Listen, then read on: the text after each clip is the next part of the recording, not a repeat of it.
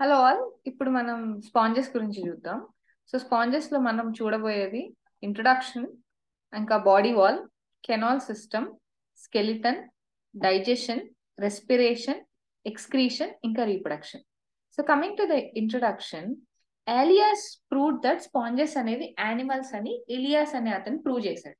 Robert grant అనే అతనే Porifera అనే నేమ్ ఇచ్చాడు. స్టడీ ఆఫ్ స్పాంజెస్ని మనం పారాజువాలజీ అంటాం. సో ఫైలోజెనెటికల్గా ఇవేంటంటే కోనోఫ్లాజిల్లేట్స్ అనే అంటే ప్రొటిరోస్పాంజియా అనే దగ్గర నుంచి ఎవాల్వ్ అయ్యి వచ్చాయి అన్నమాట ఇవన్నీ ఆక్వాటిక్ మోస్ట్లీ మెరైన్ కొన్ని ఫ్యూ మాత్రం fresh water. They are sessile. అంటే ఒక దగ్గర అతుక్కొనే ఉంటాయి. సాలిటరీ ఒక్కటిగానే ఉంటాయి. ఇలా కొన్ని కొలోనియల్గా కూడా ఉంటాయి. ఎంటైర్ బాడీలో మనకి చిన్న చిన్న పోర్స్ ఉంటాయి. దాన్ని ఆస్టియా అంటాం. అవన్నీ ఆస్టియా అన్ని కలిసి ఒక సెంటర్ కెనాల్ నుంచి ఆసిక్యులం అనే పెద్ద మౌత్ ద్వారా వాటర్ని సర్క్యులేట్ చేస్తూ ఉంటాయి.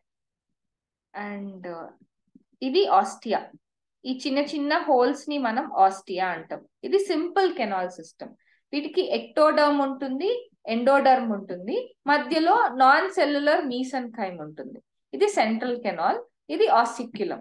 వాటర్ ఎప్పుడూ కూడా ఈ డైరెక్షన్లోనే వెళ్తుంది.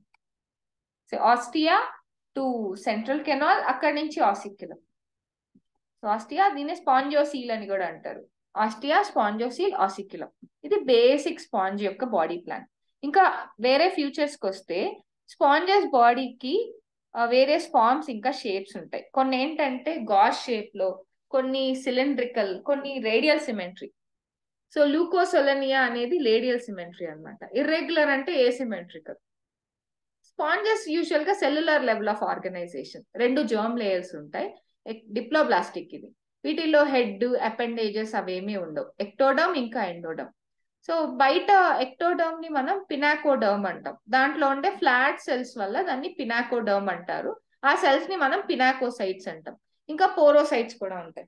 ఇన్నర్ కొయనోసైటిక్ లేయర్లో మనకి కాలర్ సెల్స్ ఉంటాయి. వాటిని కొయనోడర్మ్ అంటాం.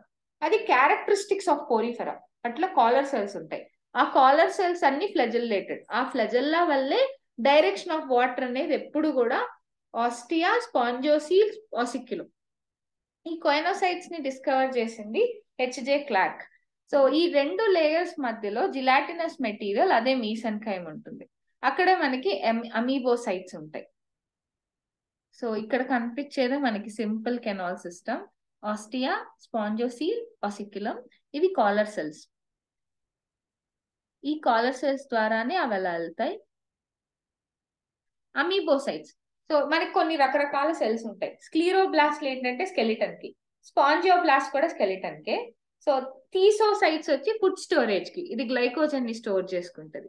అండ్ ఫాగోసైట్స్ బ్యాక్టీరియాని ఎన్గల్ఫ్ చేసుకోవడానికి. ట్రోఫోసైట్స్ అనేవి ఫుడ్ని డిస్ట్రిబ్యూట్ చేసు చేయడానికి. అండ్ ఆర్కియోసైట్స్ వచ్చి ఓవా ఇంకా స్పర్మటోస్ ఓవా ఇవి టోటీ పొటెన్షియల్స్ అనమాట అదే మనకి ఇది నిడేరియన్స్లో అయితే interstitial cells. And colon and choanocytes అనేవి కనెక్టివ్ టిష్యూ క్రోమోసైట్స్ వచ్చి pigmented. And canal system. Canal సిస్టమ్కి వస్తే మనకి మెయిన్గా మనకి four types of canal systems ఉంటాయి. ఈ కెనాల్ సిస్టమే మనకి మెయిన్గా న్యూట్రిషన్ రెస్పిరేషన్ ఎక్స్క్రీషన్కి హెల్ప్ చేస్తాయి.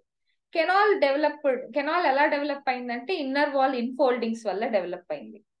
And four types of ascanoid simple canal system Olynthus దీనికి ఎగ్జాంపుల్ సైకోనాయిడ్ స్కైఫా అండ్ ల్యూకోనాయిడ్ ఇది చాలా కాంప్లెక్స్ అనమాట so Spongilla fresh water sponge ఉండేది ల్యూకోనాయిడ్ అండ్ రేగాన్ సో ఇప్పుడు మనం కెనాల్ సిస్టమ్ చూద్దాం. ఇది ఆస్కెనాయిడ్ సింపుల్ కెనాల్ సిస్టమ్ ఇది సైకోనాయిడ్ స్కైఫా ఇది వచ్చి leuconoid Spongilla fresh water sponge and skeletal సిస్టమ్కి వస్తే మనకి స్కెలిటల్ ఇంటర్నల్ స్కెలిటన్ ఉంటుంది. టైని చిన్న చిన్న క్యాల్సీరియస్ క్యాల్కోబ్లాస్ట్ ఉంటాయి సిలీషియస్ పిక్యూల్స్ ఉంటాయి సిలికోబ్లాస్ట్ ఇవన్నీ ఉంటాయి. స్పాంజిన్ ఫైబర్స్ స్పాంజియోబ్లాస్ట్ మీసన్ టైంలో ఉంటాయి.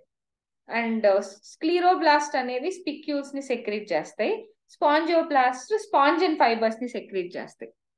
అండ్ మనకి మెయిన్గా స్పిక్యూల్స్ అనేవి మోనోయాక్సాన్ ట్రైయాక్సాన్ టెట్రాయాక్సాన్ పాలియాక్సాన్ స్పైక్స్ని బట్టి. డైజెషన్ డైజెషన్లో మౌత్ అనేది ఏమి ఉండదు.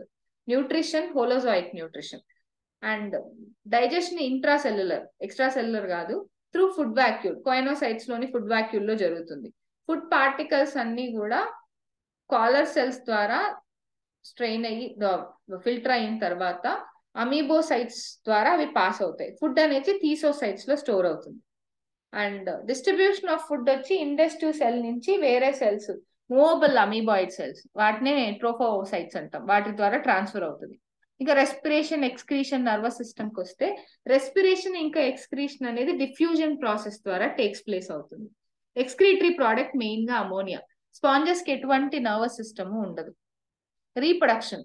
రీప్రొడక్షన్ వచ్చి asexual reproduction by budding so ఒక specialized cell mass gemmules form అవుతాయి. వాటిలో ఆర్కియోసైట్స్ ఉంటాయి. ఎండోజీనస్ బడ్డింగ్ ఇది కూడా ఏ సెక్షువల్ రీప్రొడక్షన్ జెమ్యులేషన్ అంట. అండ్ నెక్స్ట్ వచ్చి సెక్షువల్ రీప్రొడక్షన్ స్పాంజెస్ యూజువల్గా hermaphrodite so fertilization external and usual sorry fertilization internal and ఇంకా క్రాస్ పాలినేషన్ టెక్స్ క్రాస్ ఫర్టిలైజేషన్కి ప్రోటోగైనస్ అన్నమాట.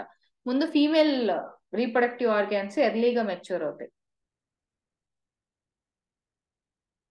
సో ఇంపార్టెంట్ ఆర్గానిజమ్స్కి వస్తే మనకి largest sponge Spheciospongia and hypothetical simple sponge లార్వాకి sponge Olynthus and shrimps Spongicola fish అన్నమాట. Crustaceans అనేవి యూప్లెక్టల్లాతో మనకి కమెన్సాలిజం చూపిస్తాయి. కొన్ని స్పాంజెస్ ఇక్కడ ఇచ్చారు ఇది లూకోసోలనియా అండ్ దీనికే రేడియల్ సిమెట్రీ ఉండేది. And Euspongia. ఇంకా స్పాంజిల్లా. ఇది ఫ్రెష్ వాటర్ స్పాంజ్ ఇది. అండ్ ఇది Scypha. Syconoid variety of uh, canal system ఉంటుంది.